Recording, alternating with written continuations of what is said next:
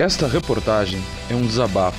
Sou Diogo Siqueira, médico veterinário, ambientalista e no momento indignado. Estávamos em uma gravação na cidade de Campinas junto com a Polícia Civil quando Messias, um dos tratadores da reserva Arurá, me ligou desesperado informando que a reserva estava pegando fogo, em brasas. A partir dali, o desespero tomou conta de mim, assim como de toda a equipe. Paramos a gravação e saímos imediatamente para a reserva. Não conseguimos falar com os bombeiros, quando a Polícia Militar Ambiental, uma grande parceira nossa na luta pelo bem-estar do meio ambiente, conseguiu contato com o Corpo de Bombeiros de Paulínia, local mais próximo a ter bombeiros no município de Olambra, onde fica a reserva. Só um comentário antes de continuar. Um bravo bombeiro ganha pouco menos ou pouco mais de mil reais para salvar vidas. E nossos políticos cretinos que não conseguem colocar bombeiros em todas as cidades, pois deveria ser obrigatório, ganham uma fortuna para ferrar com as nossas vidas. Ô gentinha sem vergonha, hein? Chegamos à reserva e conheci de perto o que é uma queimada. Eu não tinha a menor ideia, sabia da teoria, os males que ela causa, tanto que colocamos diversas notícias no portal sobre queimada, tentando educar, mostrar a realidade no portal, porém eu nunca havia vivenciado uma na prática.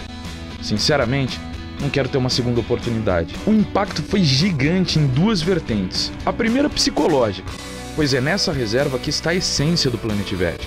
Nossos projetos, nossos animais debilitados que lhes foram tirados o direito de serem livres, culpa do homem.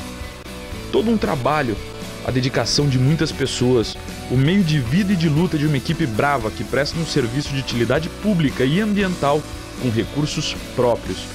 Porque se for depender do governo, deixa pra lá.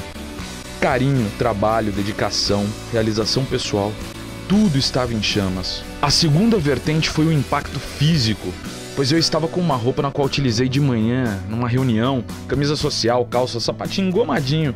Cheguei à beira da mata, olhei e não pensei duas vezes. Tirei a camisa, entrei na mata, com o chão em brasas, que entrava no meu sapato baixo e queimava o meu pé. Jogava areia, conseguia uma mangueira e tentava apagar o fogo que estava de baixo, em cima, por todos os lados. Caíam galhos em chamas e aquela fumaça insuportável machucava meus olhos e meu nariz. Faziam com que eu buscasse um lugar, um lugarzinho com menos fumaça para respirar. Da mesma forma que eu fui pro tudo ou nada, toda a equipe foi também.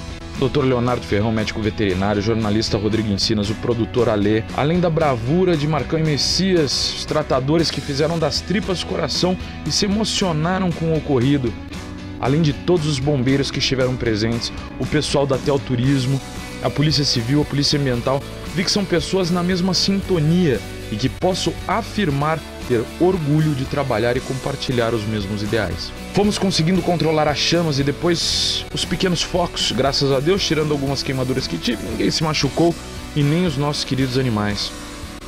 Depois dessa pavorosa experiência, meu ódio e meu repúdio, e posso dizer de toda a minha equipe, com aqueles que sem consciência começam ou provocam queimadas, aumentou e muito.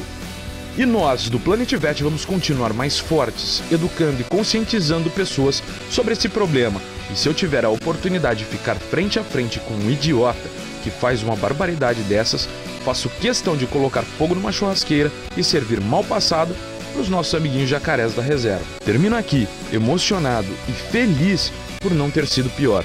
Passem meu desabafo para frente e ajudem-nos a conscientizar pessoas.